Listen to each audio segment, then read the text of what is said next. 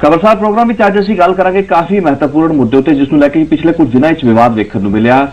ਅਸੀਂ ਗੱਲ ਕਰ ਰਹੇ ਹਾਂ ਜਰਨੈਲ ਸਿੰਘ ਪਿੰਡਰਾਣਾ ਜਿਹਨੂੰ ਕਿ ਸੰਤ ਜਰਨੈਲ ਸਿੰਘ ਪਿੰਡਰਾਣਾ ਵੀ ਕਿਹਾ ਜਾਂਦਾ ਹੈ। ਉਹਨਾਂ ਦਾ ਪੋਰਟਰੇਟ ਲਗਾਇਆ ਗਿਆ ਐਸਜੀਪੀਸੀ ਦੇ ਅਜਾਇਬ ਘਰ ਅੰਮ੍ਰਿਤਸਰ ਵਿਖੇ ਤੇ ਉਸ ਤੋਂ ਬਾਅਦ ਇੱਕ ਵਿਵਾਦ ਖੜਾ ਹੋਇਆ। ਕਾਂਗਰਸ ਨੇ ਇਸ ਗੱਲ ਨੂੰ ਲੈ ਕੇ ਰਾਜਪਾਲ ਤੇ ਕੇਂਦਰ ਸਰਕਾਰ ਤੋਂ ਸ਼ਿਕਾਇਤ ਕਰ ਦਿੱਤੀ। ਲੇਕਿਨ ਇਸ ਮਾਮਲੇ ਤੇ ਹੁਣ ਕਾਂਗਰਸ ਬੈਕ ਫੁੱਟ ਤੇ ਆ ਗਈ। ਇੱਕ ਤਰੀਕੇ ਨਾਲ ਉਸ ਤਰੀਕੇ ਦੀ ਵਿਰੋਧਤਾ ਨਹੀਂ ਰਹੀ ਜੋ ਕਿ ਸ਼ੁਰੂਆਤ ਦੇ ਵਿੱਚ ਹੋਈ ਸੀ।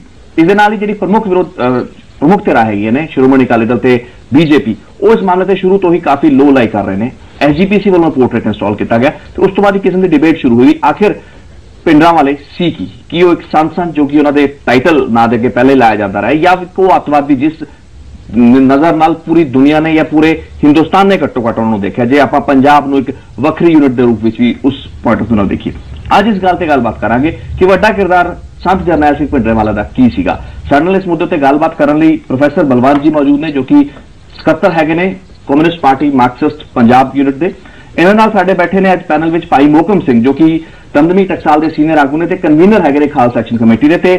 ਗੁਰਚਰਨਜੀਤ ਸਿੰਘ ਲਾਂਬਾ ਸਾਹਿਬ ਐਡੀਟਰ ਸੰਤ ਸਿਪਾਹੀ ਪੂਰੇ ਮਾਮਲੇ ਦਾ ਵਿਸ਼ਲੇਸ਼ਣ ਕਰਨ ਲਈ ਆ ਸਾਡੇ ਨਾਲ ਮੌਜੂਦ ਨੇ। ਸ਼ੁਰੂਆਤ ਕਰਾਂਗੇ। ਪਿੰਡ ਵਾਲਿਆਂ ਨੂੰ ਸ਼ਹੀਦ ਕਰਾਰ ਦਿੱਤਾ ਗਿਆ ਕੁਝ ਸਾਲ ਪਹਿਲਾਂ। ਹੁਣ ਉਹਨਾਂ ਦਾ ਪੋਰਟਰੇਟ ਲਾਇਆ ਗਿਆ। ਕਾਂਗਰਸ ਨੇ ਸ਼ੁਰੂਆਤ ਵਿੱਚ ਤੇਵਰ ਦਿਖਾਇਆ ਲੇਕਿਨ ਹੁਣ ਉਹ ਬੈਕਫੁੱਟ ਤੇ ਇੱਕ ਤਰੀਕੇ ਨਾਲ ਕਿਤੇ ਨਾ ਕਿਤੇ ਨਜ਼ਰ ਆ ਰਹੇ ਨੇ। ਕੋਈ ਪ੍ਰਮੁੱਖ ਸਿਆਸੀ ਪਾਰਟੀ ਇਸ ਮੁੱਦੇ ਦੀ ਗੱਲ ਨਹੀਂ ਕਰਨਾ ਚਾਹੁੰਦੀ। ਲੇਕਿਨ ਅੱਜ ਦੀ ਤਰੀਕ ਵਿੱਚ ਇੱਕ ਦੁਚੇਤੀ ਹੈ। ਇੱਕ ਬਹੁਤ ਵੱਡੇ ਸਮਾਜ ਦੇ ਵਿੱਚ ਉਹ ਭਾਵੇਂ ਇੱਕ ਸਿੱਖ ਸਮਾਜ ਨਾ ਹੋਵੇ ਲੇਕਿਨ ਹਿੰਦੁਸਤਾਨ ਦੀ ਜਨਤਾ ਜਾਣਨਾ ਚਾਹੁੰਦੀ ਵੀ ਪਿੰਡ ਵਾਲੇ ਨੂੰ ਕੀ ਟ੍ਰੀਟ ਕੀਤਾ ਜਾਣਾ ਚਾਹੀਦਾ ਹੈ। ਮੇਰੇ ਖਿਆਲ ਵਿੱਚ ਕਾਂਗਰਸ ਭਾਜਪਾ ਕਾਲ- ਕਾਂਗਰ ਕਾਲੀ ਜਾਂ ਇਹ ਕਾਮਰੇਡ ਜਾਂ ਜੋ ਵੀ ਪਾਰਟੀਆਂ ਹੈ ਇਹਨਾਂ ਨੂੰ ਇਹਦੇ ਵਿੱਚ ਵਿਖਾਉਣਾ ਵੀ ਇਹ ਕੀ ਕਹਿ ਰਹੀਆਂ ਕੀ ਨਹੀਂ ਇਹ ਗਲਤ ਵੈਸੇ ਮੂਲੋਂ ਹੀ ਗਲਤ ਹੈ। ਔਰ ਇਹਨਾਂ ਦਾ ਵਿੱਚ ਇਹਦੀ ਦਖਲਅੰਦਾਜ਼ੀ ਜਾਂ ਇਹਨਾਂ ਦੀ ਸੋਚ ਵੈਸੇ ਗਲਤ ਹੈ। ਇਹ ਹੈਗਾ ਜੀ ਸਿੱਖਾਂ ਦਾ ਅੰਦਰੂਨੀ ਮਸਲਾ ਸਿੱਖ ਕੌਮ ਦਾ ਧਾਰਮਿਕ ਮਾਮਲਾ। ਸਿੱਖਾਂ ਦੀਆਂ ਧਾਰਮਿਕ ਭਾਵਨਾਵਾਂ ਭਾਵਨਾਵਾਂ ਜਿਹੜੀਆਂ ਇਹਦੇ ਨਾਲ ਜੁੜੀਆਂ ਹੋਈਆਂ ਨੇ। ਔਰ ਉਸ ਵਿਅਕਤੀ ਨੇ ਕਣਖ ਗੈਰ ਤੇ ਰਹਿੰਦੇ ਹੋਇਆਂ ਹਰਮੰਦਰ ਸਾਹਿਬ ਦੇ ਅੰਦਰ ਆਪਣੀ ਸ਼ਹਾਦਤ ਦਿੱਤੀ ਹੈ। ਅੰਦਰੂਨੀ ਮਾਮਲੇ ਦਾ ਮਤਲਬ ਮੈਂ ਚਾਹਾਂਗਾ। ਉਹ ਕੀ ਆਪਾਂ ਇਹ ਕਹੀ ਵੀ ਸੰਤ ਜਰਨੈਲ ਸਿੰਘ ਭਿੰਡਰਾਂ ਸਿੱਖਾਂ ਲਈ ਸ਼ਹੀਦ ਸੀ ਤੇ ਹਿੰਦੁਸਤਾਨ ਦੇ ਹੋਰ ਧਰਮਾਂ ਤੇ ਹੋਰ ਸੂਬਿਆਂ ਲਈ ਉਹ ਇੱਕ ਅੱਤਵਾਦੀ ਸੀ। ਆਪਾਂ ਕੀ ਨਾ ਕਹਿ ਐਸਾ ਸਕਦੇ ਨਹੀਂ। ਆਪਾਂ ਜਦੋਂ ਜਦੋਂ ਇਸ ਚੀਜ਼ ਨੂੰ ਆਪਾਂ ਇੰਡੀਵਿਜੂਅਲਾਈਜ਼ ਕਰ ਦੋ ਲੈਂਦੇ ਰਹੇ ਇੰਟਰਨਲ ਮੈਟਰ ਹੈ। ਦੇਖੋ ਦੋ ਗੱਲਾਂ। ਜਿੱਥੋਂ ਤੱਕ ਤਾਂ ਸੰਤ ਜਰਨੈਲ ਸਿੰਘ ਇੱਕ ਸਿੱਖ ਹੈ ਉੱਥੋਂ ਤੱਕ ਸਿੱਖਾਂ ਵਾਸਤੇ ਉਹ ਇੱਕ ਬਹੁਤ ਵੱਡੀ ਚੀਜ਼ ਹੈ। ਜਿੱਥੋਂ ਤੱਕ ਬਾਕੀ ਦੇ ਹਿੰਦੁਸਤਾਨ ਦੇ ਲੋਕ ਨੇ ਉਹਨਾਂ ਤੱਕ ਜਿਵੇਂ ਜਿਵੇਂ ਸਮਾਂ ਆਏਗਾ ਜਦੋਂ ਉਹਦੀ ਚੰਗੀ ਤਰ੍ਹਾਂ ਪੜਚੋਲ ਕਰਨਗੇ ਉਹ ਖੋਜਣਗੇ ਔਰ ਉਹ ਸੋਚਣਗੇ ਕਿ ਉਸ ਸਮੇਂ ਪਾਰਟੀਆਂ ਦਾ ਰੋਲ ਗਲਤ ਸੀ ਸੰਤ ਜਰਨੈਲ ਸਿੰਘ ਦਾ ਰੋਲ ਠੀਕ ਸੀ। ਉਹਨੇ ਦੱਬੇ ਤਾਂ ਕਰਨਗੇ ਨਾ ਜਦ ਤੁਸੀਂ ਇਹ ਕਹਿਣਾ ਬੰਦ ਕਰੋਗੇ ਵੀ ਸਾਡਾ ਅੰਦਰੂਨੀ ਮਾਮਲਾ ਹੈਗਾ। ਦੇਖੋ ਯਾਨੀ ਜਦ ਤੁਹਾਡਾ ਅੰਦਰੂਨੀ ਮਾਮਲਾ ਹੈਗਾ ਤਾਂ ਬਾਹਰਲਾ ਬੰਦਾ ਕਿਉਂ ਸੋਚੇ? ਉਹ ਕਹੇਗਾ ਵੀ ਠੀਕ ਹੈ ਤੁਸੀਂ ਖੁਦ ਆਪਣੇ ਆਪ ਨੂੰ ਆਈਸੋਲੇਟ ਦੇਖੋ ਕਰਕੇ ਸੰਤ ਰੱਖਣਾ ਚਾਹੁੰਦੇ ਜਰਨੈਲ ਸਿੰਘ ਨੇ ਜਿਹੜਾ ਉਸ ਸਮੇਂ ਰੋਲ ਅਦਾ ਕੀਤਾ। ਅੱਜ ਅਸੀਂ ਜਿਹੜੀਆਂ ਮੰਗਾਂ ਸਨ ਵੀ ਰੇਡੀਓ ਸਟੇਸ਼ਨ ਲਾ ਦਿਓ ਜੀ ਉਹ ਕਰ ਦਿਓ ਵੱਧ ਅਧਿਕਾਰ ਦੇ ਦਿਓ ਪਾਣੀਆਂ ਦੀ ਗੱਲ ਅਨੰਦਪੁਰ ਦੇ ਮਤੇ ਦੀ ਇਹੀ ਗੱਲਾਂ ਸੀ। ਉਹੀ ਅਨੰਦਪੁਰ ਦਾ ਮਤਾ ਜਿਹਨੂੰ ਰਜੀਵ ਲੋਂਗੋਵਾਲ ਸਮਝੌਤੇ ਵਿੱਚ ਲੈ ਕੇ ਆਂਦਾ ਉਹੀ ਮਤਲਬ ਅੱਜ ਰੇਡੀਓ ਟੀਵੀ ਜਿਹੜੇ ਘਰ ਘਰ ਲੱਗੇ ਹੋਏ ਨੇ।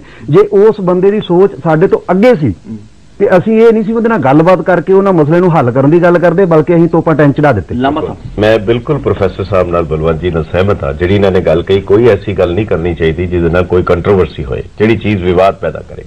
ਪਰ ਵੇਖਣ ਵਾਲੀ ਗੱਲ ਇਹ ਹੈ ਬਹੁਤ ਇੰਪੋਰਟੈਂਟ ਹੈ ਕਿ ਜਦੋਂ ਗੁਰੂ ਨਾਨਕ ਦੇਵ ਜੀ ਨੇ ਤਿੰਨ ਅਸੂਲ ਦਿੱਤੇ ਕਿਰਤ ਕਰੋ ਨਾਮ ਜਪੋ ਵੰਡ ਛਕੋ ਜਦੋਂ ਇਹ ਅਸੂਲ ਦਿੱਤੇ ਔਰ ਜਿਨ੍ਹਾਂ ਨੂੰ ਇਸ ਅਸੂਲ ਨਾਲ ਤਕਲੀਫ ਹੋਈ ਉਹਨਾਂ ਨੇ ਗੁਰੂ ਨਾਨਕ ਦੇਵ ਜੀ ਨੂੰ ਵੀ ਕੈਦ ਕੀਤਾ। ਉਹਨਾਂ ਨੇ ਗੁਰੂ ਅਰਜਨ ਦੇਵ ਜੀ ਨੂੰ ਵੀ ਸ਼ਹੀਦ ਕੀਤਾ ਉਹਨਾਂ ਨੇ ਸਾਹਿਬਜ਼ਾਦਿਆਂ ਨੂੰ ਸ਼ਹੀਦ ਕੀਤਾ।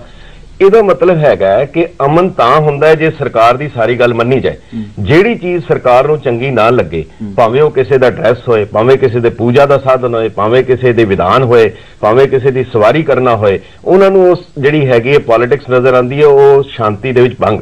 ਗੁਰੂ ਅਰਜਨ ਦੇਵ ਜੀ ਬਾਰੇ ਹਰਮੰਦਰ ਸਾਹਿਬ ਦੇ ਬਾਰੇ ਇਹ ਕਿਹਾ ਗਿਆ ਜਹਾਂਗੀਰ ਵੱਲੋਂ ਕਿ ਇਹ ਦੁਕਾਨੇ ਬਾਤਲ ਹੈ ਝੂਠ ਦੀ ਦੁਕਾਨ ਹੈ। ਔਰ ਇਹ ਵੀ ਸਹੀ ਹੈ ਕਿ ਇਸ ਸਦੀ ਦੇ ਵਿੱਚ ਵੀ, ਸ਼ੁਰੂ ਦੇ ਵਿੱਚ ਆਜ਼ਾ- ਆਜ਼ਾਦੀ ਦੇ ਬਾਅਦ ਇਹ ਕਿਹਾ ਗਿਆ, ਇੱਕ ਪਾਰਟੀ ਵੱਲੋਂ ਕਿ ਜੇ ਪੰ- ਹਿੰਦੁਸਤਾਨ ਦਾ ਮਸਲਾ ਹੱਲ ਕਰਨਾ ਹੈ ਫੂਡ ਪ੍ਰੋਬਲਮ ਤੇ ਹਰਮੰਦਰ ਸਾਹਿਬ ਵਿੱਚ ਝੋਨਾ ਬੀਜ ਦਿੱਤਾ ਜਾਏ। ਇਹਦਾ ਮਤਲਬ ਇਹ ਹੋ ਗਿਆ ਕਿ ਹਰਮੰਦਰ ਸਾਹਿਬ ਨੂੰ ਕੈਰੀ ਅੱਖ ਨਾਲ ਦੇਖਿਆ ਜਾਂਦਾ ਹੈ। ਜੇ ਇਹ ਧਰਮ ਦੀ ਗੱਲ ਵਿੱਚੋਂ ਖਤਮ ਕਰ ਦਿੱਤੀ ਜਾਏ, ਤੇ ਫਿਰ ਠੀਕ ਹੈ। ਪਰ ਜੇ ਸਰਕਾਰ, ਇਹਦਾ ਮਤਲਬ ਹੈ ਇਹ ਧਰਮ ਦਾ ਮਾਮਲਾ ਸੀ ਔਰ ਸੰਤ ਜਰਨੈਲ ਸਿੰਘ ਭਿੰਡਰਾਂ ਵਾਲਾ ਇੱਕ ਧਰਮ ਦੇ ਆਈਕਨ ਹੈ। ਬਾਬਾ ਦੀਪ ਸਿੰਘ ਧਰਮ ਦੀ ਖਾਤਰ ਸ਼ਹੀਦ ਹੋਏ। ਬਾਬਾ ਗੁਰਬਖਸ਼ ਸਿੰਘ ਧਰਮ ਦੀ ਖਾਤਰ ਸ਼ਹੀਦ ਹੋਏ। ਹਰਮੰਦਰ ਸਾਹਿਬ ਦੀ ਰਾਖੀ ਲਈ ਦੋਨੋਂ ਸ਼ਹੀਦ ਹੋਏ। ਔਰ ਇਹਨਾਂ ਦੋਨਾਂ ਦੀ ਯਾਦਗਾਰਾਂ ਹਰਮੰਦਰ ਸਾਹਿਬ ਦੇ ਵਿੱਚ ਹੈ। ਸੰਤ ਜਰਨੈਲ ਸਿੰਘ ਉਸੇ ਉਸੇ ਟਕਸਾਲ ਦੇ ਵਿੱਚ ਮੈਂ ਦੁਬਾਰਾ ਆਵਾਂਗਾ ਦੁਬਾਰਾ ਆਵਾਂਗਾ ਤੁਹਾਡੀ ਗੱਲ। ਬੜੀ ਇੰਪੋਰਟੈਂਟ ਹੈ। ਸਰਕਾਰਾਂ ਦੇ ਰੋਲ ਕਾਫੀ ਜ਼ਿਆਦਾ ਅਹਿਮ ਰਹੇ ਨੇ। ਉਦੋਂ ਵੀ ਰਹੇ ਜਦੋਂ ਕਿ ਇਹ ਪੂਰਾ ਘਟਨਾਕ੍ਰਮ ਚੱਲਦਾ ਪਿਆ ਸੀ। ਅੱਜ ਵੀ ਜਦੋਂ ਇਹ ਪੂਰਾ ਘਟਨਾਕ੍ਰਮ ਚੱਲ ਰਿਹਾ ਹੈ ਜਾਂ ਸ਼ਾਇਦ ਇਸ ਨੂੰ ਉਨੀ ਤਰਜੀਹ ਨਹੀਂ ਦਿੱਤੀ ਜਾ ਰਹੀ। ਲੇਕਿਨ ਵੱਡਾ ਸਵਾਲ ਉਹੀ ਹੈ ਵੀ ਲੋਕਾਂ ਦੀ ਸਾਈਕੀ ਸਿੱਖਾਂ ਦੀ ਸਾਈਕੀ ਹੀ ਨਹੀਂ, ਬਲਕਿ ਹਿੰਦੂ ਜਾਂ ਉਹ ਸਾਰੇ ਵਰਗ ਜੋ ਕਿ ਕਿਤੇ ਨਾ ਕਿਤੇ ਇਸ ਘਟਨਾਕ੍ਰਮ ਨੂੰ ਦੇਖਦੇ ਨੇ ਜਾਂ ਇਸ ਦੇ ਬਾਰੇ ਆਪਣੀ ਇੱਕ ਰਾਏ ਬਣਾਉਂਦੇ ਨੇ, ਉਹਨਾਂ ਲਈ ਇਹ ਜਾਣਨਾ ਬਹੁਤ ਜ਼ਰੂਰੀ ਹੈ ਵੀ ਸੰਤ ਜਰਨੈਲ ਸਿੰਘ ਪਿੰਡਰਾਵਲ ਦਾ ਰੋਲ ਕੀ ਸੀ, ਉਹ ਕੀ ਸ਼ਖਸੀਅਤ ਸਨ ਤੇ ਉਹਨਾਂ ਦੇ ਰੋਲ ਨੂੰ ਕਿਸ ਤਰੀਕੇ ਨਾਲ ਕਿਸ ਲਾਈਟ ਦੇ ਵਿੱਚ ਐਕਸਪਲੇਨ ਕੀਤਾ ਜਾ ਸਕਦਾ ਹੈ। ਇੱਕ ਛੋਟਾ ਜਿਹਾ ਬ੍ਰੇਕ ਬ੍ਰੇਕ ਤੋਂ ਬਾਅਦ ਵਾਪਸ ਆਉਂਦੇ ਹਾਂ।